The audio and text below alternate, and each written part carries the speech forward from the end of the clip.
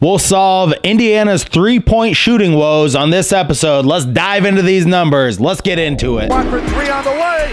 Oh!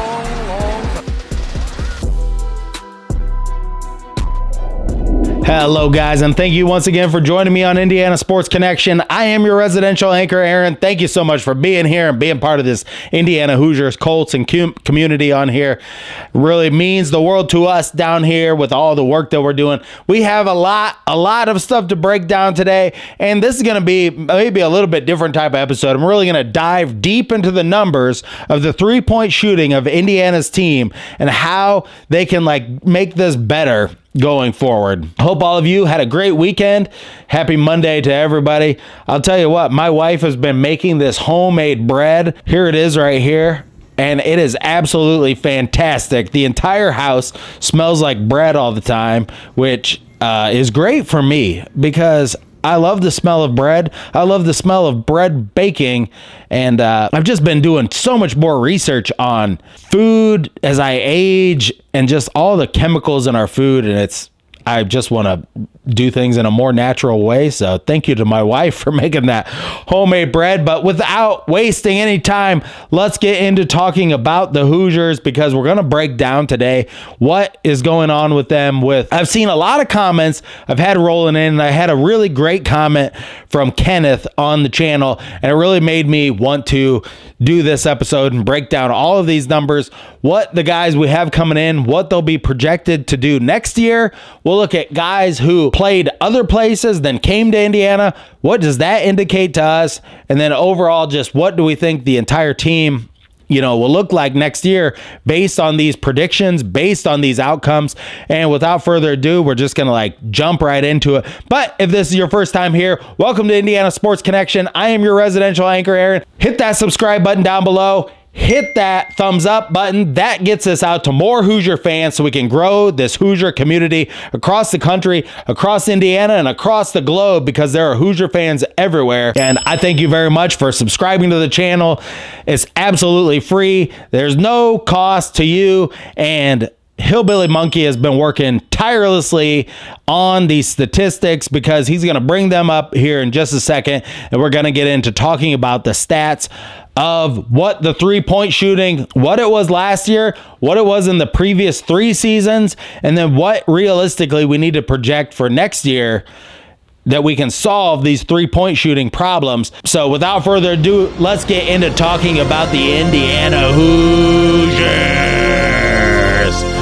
All right, so First things first, let's look at last year's statistics. Hillbilly Monkey, let's bring up those statistics from last year and so we can see all of the numbers on three point shooting. Then we can see the numbers that we're going to have to take out. Let's go to this nice, beautiful location and so right here, we can see everybody from last year. So our team totals, we made 166 threes on 513 attempts. What we'll be losing, Xavier Johnson, 11 for 30. We'll be losing that. Walker, 2 for 17. We'll be losing that. Ware, 17 of 40. Gunn, 17 of 50. And Banks, 5 of 20. We will be losing all that production. So let's subtract that out of there. So our 166 to 513 turns into 114 uh, of 356 if we take those numbers out. 32%, that's what we shot last year. When we take out the guys that are leaving, we're still at 32% at 114 and 356 attempts. So what do we have coming in? We have Carlisle coming in. We have Rice coming in. So Carlisle and Rice, Carlisle was 32 of 100 last year, and Rice was 36 of 131 last year. So let's add that into the mix. So after we we take out what we lost, and then we add in what we're adding, and we end up with we're 182 makes on 587 if we just add those guys based on last year's numbers. And then we're going to and what I really want to get away from in this episode is the assumptions. The assumptions that a guy's going to shoot more three pointers coming into Indiana. The assumption that his his percentage is going to change. So really to like look at that, let's look at two players that transferred to Indiana Parker Stewart and Miller Kopp, let's look at their numbers and how they performed at their schools before and then how they performed at Indiana. So let's bring those up there, Hillbilly Monkey. So we can see Miller Kopp here. He was his three point attempts a game was 2.3 as a freshman, 5.3 as a sophomore, 4.3 as a junior there. And then it dropped an entire shot a game to 3.1 when it came, when he came to Indiana. Then it recovered as a senior. He shot 4.1. So he never he never shot more at Indiana than he shot at Northwestern. That's just the fact, Jack. That's all there is to it. We look at the same thing with Parker Stewart. So Parker Stewart he at Pitt as a freshman, he attempted 5.8 three pointers a game on average. At UT Martin, he, he shot 8.2 three pointers a game. Then when he came to Indiana, he shot 4.0 three pointers a game on average. So, my point of doing this is we've never had any indication that uh, uh, from the numbers of players that have come in, and I also looked at some other players like Rob Phinisee or guys that were on the team when Mike Woodson got here. But there's no indication within the numbers, and this is very important, that would suggest to you that a player is going to go from, and this is the next thing I really want to look at. So, Stanford, I just want to look at Stanford stats from last year. And if we look at, let's just look at where Stanford ranked in three point shooting. Last year, Stanford ranked 86th in three point shooting. And that's where Kanaan Carlisle is coming from. And Washington State, they ranked 301 in three point shooting. So they did not shoot many three pointers at Washington State where Myles Rice played. I'm just trying to get a good grasp of like what these guys did there, other players did other places before they came to Indiana and then what they did at Indiana. And is there any indication that these guys are going to shoot more or a better percentage at Indiana? We're going to break this all down for you right here. So, for Indiana stats, you know, we take away the players that left and then you add Carlisle in. He was 32 of 100, Carlisle was at Stanford last year, and Rice was 36 of 131. So, projecting into next year, what will Indiana have to do to improve their three point shooting? And also, I want to put this stat up here because so Indiana at the three point line, they were negative 3.5 was their differential. That is a huge differential. That's almost like starting every game 10 and a half points behind before the game even starts because you're not shooting enough three pointers. And I'm not one of these, I don't think they need to shoot. I don't think they need to turn into like Alabama. I just think they need to shoot enough so that we can really see the needle move in the right direction. And that's what we're going to talk about next. Like, so like let's look at down the line, our our volume shooters. Mgbako last year shot 50 he made 50 out of 153. So if we project him to make 70 next year, so put a 70 up there. Carlisle, if he shot 32 of 100, if we project him to make 40 next year, I would say that's kind of generous because we're giving him more than he had before. And we've never even seen that from anybody who's come to IU. Rice was 36 of 131. Let's project him to shoot, make 30, make 45 next year. Gabe Cupps was 14 to 39 on the Hoosiers last year. Let's say he makes 25 this year, and that would be a significant increase compared to just how sparingly he shot last year. Galloway was awful. He was 26 of 100. Say Galloway hits 40 this year. That's my projection that Galloway hits 40. Reneau was 15 of 45. Let's say Reneau makes 20 this next year. So, so we're getting all these numbers together. Tucker, we have no clue on Tucker, so I'm just putting him down for he's going to make 10. Leo was 9 of 19 last year. I don't think Leo's going to play as much this next year with the guys we have coming in. I just put Leo down for 5. Newton, we've seen nothing out of Newton at, so far. Maybe he will be great, maybe he won't be great, but I'm just putting him down for 5 this next year. And then Ballo, I have him down for zero. So if you add up all my numbers 70, 40, 45, 25, 40, 20, 10, 5, and 5, that comes out to 260. So that would be That would be increasing the three point usage a lot for Indiana to get them up to 260 makes in this next season. That would be a hundred more makes than we had last year. So how many would we have to realistically have to shoot this next year to get up to 260? If we wanted to be if we're at 40%, which would be a really really high mark, we'd have to shoot 650. So a more realistic number, I mean if we made if we made 260 out of 700, we'd be at 37%. If we made 260 out of 750 would be at 34%. That would be a more realistic number. Now, do you think Mike Woodson, and he has time to change this, but do you think Mike Woodson, after watching him for three seasons, is going to is he going to increase our three point shooting from one from only 513 attempts to 750 attempts?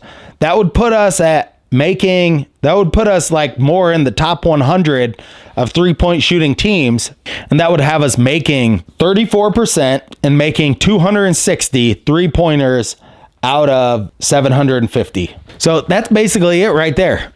Indiana this next year will have to shoot 200 more three pointers than they did last year but let's look at what the teams did in the previous two seasons. So I do just want to bring this stat up real quick because it's important.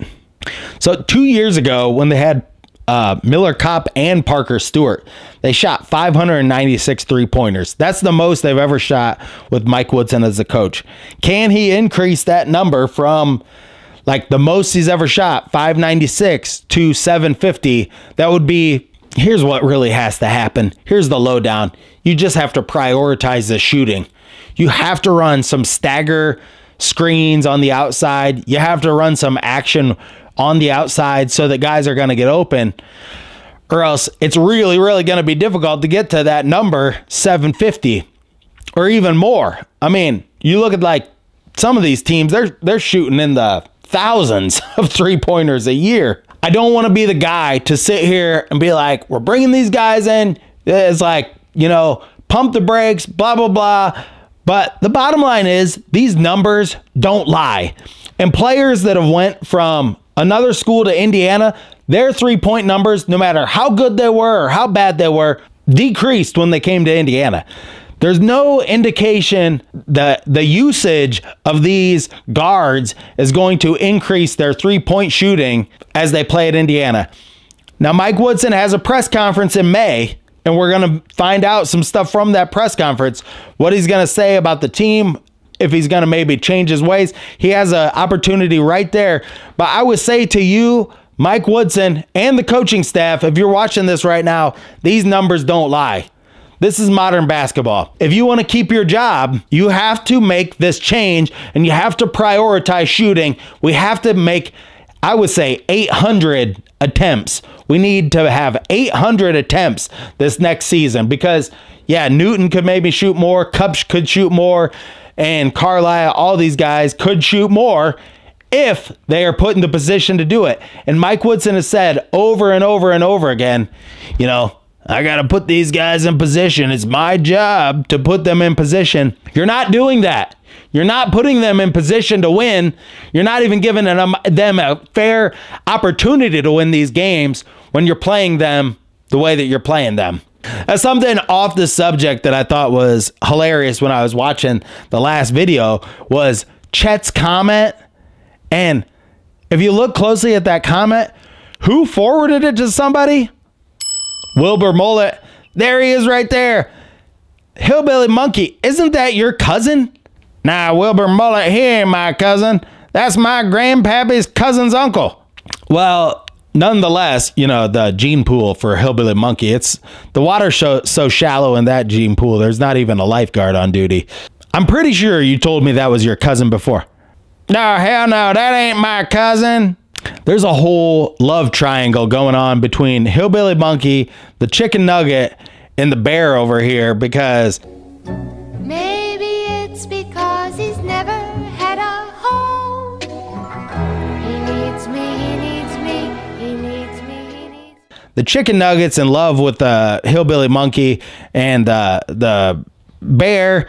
He's just uh, just a pot smoking idiot, you know. So but I hope this episode it was a little bit different. It wasn't so much like my opinion on this and my opinion on that. Thank you, Kenneth, for leaving that comment. You can see that on the last video I put out. But it's a really good comment, and he was breaking down these projections, which really made me want to like jump into all this stuff and like really kind of like see for myself like what it all means, what it, where it's all going. We still are going to have major major problems unless we sure up this three point shooting epidemic, pandemic, whatever you want to call it at Indiana, because look, we need to shoot more. We need to shoot more from the outside. Everybody knows that. But the coach, I guess. So, you know, there's only one thing left for do to do, and that's for me to get my gear and bring it on in here because you're gonna bunk with me, buddy. We're gonna be buddies. We're gonna be pals. We're gonna wrestle around. Come on, Mike Woodson. Like, let these guys, let them free, let them shoot from the outside so that we can have a competitive team. And then Ballo, he will still get his points. He will get his putbacks. This will make everything easier for the team if we just get the ball moving and it's more free flowing. The coaching staff and everybody there needs to take the stubbornness off of everything they do and actually start to look at what this really means for this team. And there's no way to win with a team that shoots this bad on three pointers and shoots this bad from the free throw line. Doesn't matter what you do because the differential on this Indiana is behind so much on the free throw line and three point shooting when they start the game. We got to turn it around. We got to do a 180 on this. And until that happens, I can't sit here and lie to all of you fans out there. Now, we are on our way to a thousand subscribers. I am looking at some really cool things to give away for a thousand subscribers. What would you prefer? Like some type of memorabilia? It's got to be within reason, less than a $100. I don't want to spend more than a $100 on it, but I've been looking at some memorabilia and some different things that I might give away at a thousand subscribers. Tell me what you think about that in the comments down below. I will be doing another home field apparel giveaway at 900 subscribers. So subscribe to the channel, hit that thumbs up button. You will be entered for the home field apparel and tell me what you want to see for the thousand subscriber giveaway. It's going to be something cool. It's going to be a piece of memorabilia or something, but tell me what you would like to see given away on the channel. But hopefully this just made you kind of like feel I'm not trying to make you feel bad. I'm just trying to give you the real aspect of what goes on at Indiana and Indiana basketball. And hopefully we can, I want to see all of this stuff happen so that we can just be a badass top 20 team next year the whole time and we can win the Big Ten or at least have a chance to win the Big Ten and get to the Sweet 16. That would be very satisfying as an IU fan because we've not really seen that happen in a while. Thank you so much for being here. Thank you so much for joining me. And until next time, stay classy out there, Hoosier fans.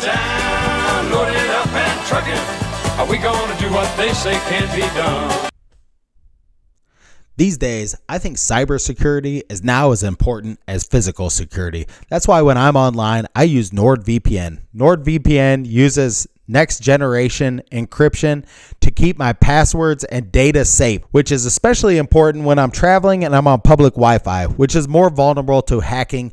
I'm sure a lot of you are going to be traveling for the holidays this summer. Use NordVPN, one account that will protect all your devices and computers. And with their 30 day money back guarantee, you have nothing to lose.